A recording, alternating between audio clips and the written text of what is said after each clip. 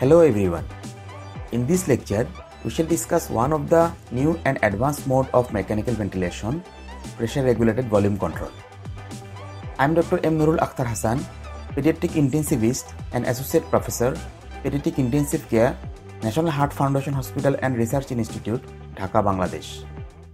In a previous lecture, we discussed conventional modes of mechanical ventilation, the link of which is available at the description section of this video. There are a good number of new alternate or advanced modes and the list is never ending. Among those we shall be discussing pressure regulated volume control and in subsequent lectures we shall try to cover few more. At the end of this lecture, you will be able to understand difference between pressure limit and volume limit ventilation, PRVC as a mode, what is new there, setting parameters, how it works, advantages and disadvantages and clinical implication of this mode. There are two general methods of mechanical ventilation, volume limit or pressure limit ventilation, which are popularly known as volume control or pressure control. In volume limit ventilation, lung inflation occurs at a pre-selected tidal volume and the inflation pressure is variable, which depends on lung condition.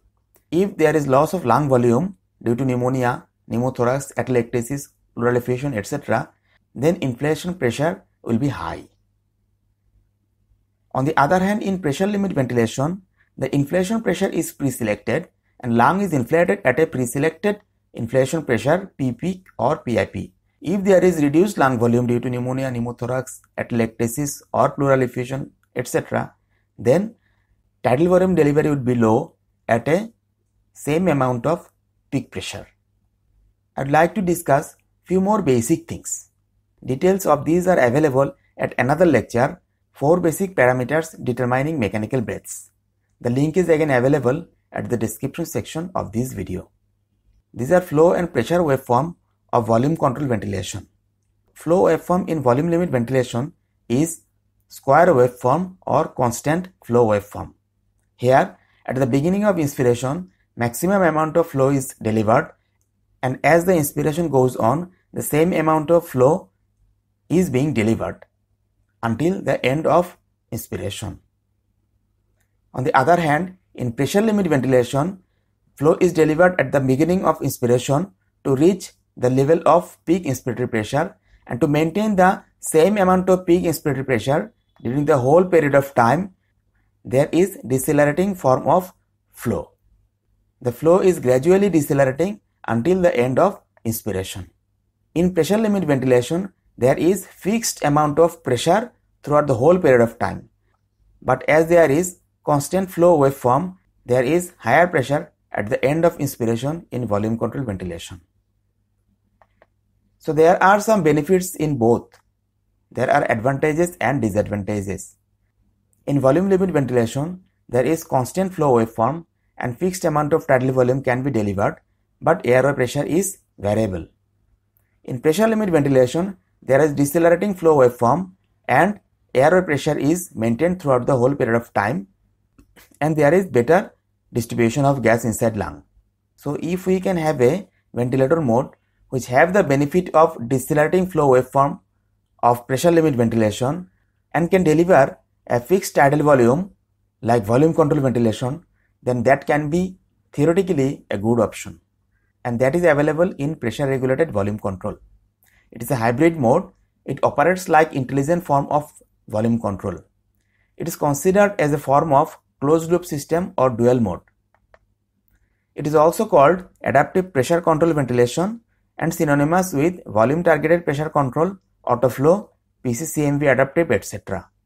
This way, the closed loop ventilation mode works. Ventilator constantly collect patient's respiratory mechanics data from patients and modify the ventilator parameters. These are the setting of PRVC, FiO2, PWP, trigger or sensitivity, respiratory rate, I time, inspiratory expiratory ratio, target tidal volume, and Pmax or PIP high limit.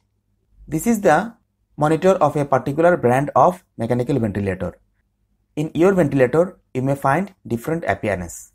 When you select PRVC mode, then you will find parameters to set. Here all the settings are available but Pmax or PIP high limit is not there and which is available in this particular brand at alarm section. You have to select alarm and you'll have to select the appropriate PIP high limit. How it works? When you start mechanical ventilation in this mode, first delivered breath is either volume control or pressure control, which depends according to brand of ventilator. In some ventilators, first it provides volume limit breaths as per set tidal volume and measures the pressure required to expand the lung at the set tidal volume. On the other hand, in some manufacturers or brands, first a pressure control breath is delivered at a low P peak or PIP of 5 cm of water and in subsequent breaths gradually increasing PIP or P peak is provided to measure the required PIP or P peak to expand the lung at set tidal volume. And the measured pressure is used at next breath. Then the set volume is achieved by automatic breath by breath pressure regulation. According to patient's airway, lung or thoracic property, the inspiratory pressure control will be adjusted by the ventilator to lowest possible level to guarantee the preset tidal volume. In subsequent breaths, if the measured tidal volume increases above the preset, peak inspiratory pressure level decreases 2 to 3 cm between consecutive breaths until the preset tidal volume is delivered. Opposite happens if measured tidal volume is low. The pressure control increases by 2 to 3 cm of water in subsequent breaths until the delivery of set tidal volume is achieved. And the maximum allowed inspiratory pressure is 5 cm below the set upper pressure alarm limit. So this is the summary of how it works. Initially a test breath is delivered and it measures the tidal volume which is compared with the set tidal volume. If it is more then in subsequent breath inspiratory pressure will be decreased. If it is high, then in subsequent breath, pressure control will be increased. And if it is same, then same amount of peak pressure or pressure control will be delivered.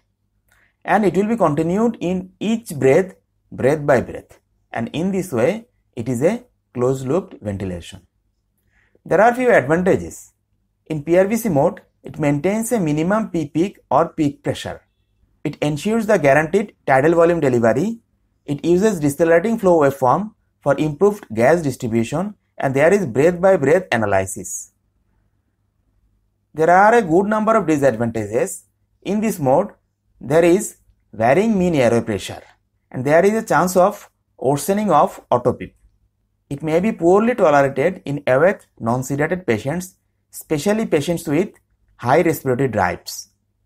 A sudden increase in respiratory rate and demand may result in decrease in ventilator support causing significant asynchrony.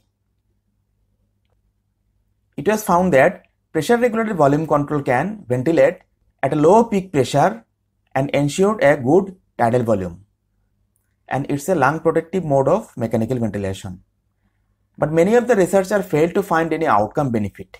In this randomized control trial, no difference were detected between SIMV and PRVC in terms of survival, successful extubation, length of mechanical ventilation in survivors, and proportion of infant alive without a supplemental oxygen requirement at 36 weeks postmenstrual age. Few others literature also find it is not a mode like set it and forget it. There are few disadvantages as well and there is no significant outcome benefit although it's a mode of choice in many centers worldwide, but it should be used in a selected group of patients who do not have very high respiratory drive. Takeaway message it provides constant tidal volume like volume limit ventilation, but it limits inspiratory pressure like pressure control. It can ventilate at a lower PIP or P peak than in regular volume control. There is no change in minute ventilation if pulmonary condition changes. But it is hard to use in spontaneously breathing patient, especially with high respiratory drive. Patients with a large air leak, severely obstructed patients, and very high airway pressure. Nowadays, PRVC is available in SIMV modes, but PRVC is not a good option for weaning. In next video, we shall discuss another newer mode, Adaptive Support Ventilation, ASV. Thank you. If you find this video beneficial, please give a thumbs up and to get notification of future video, please subscribe the channel and click on the bell icon.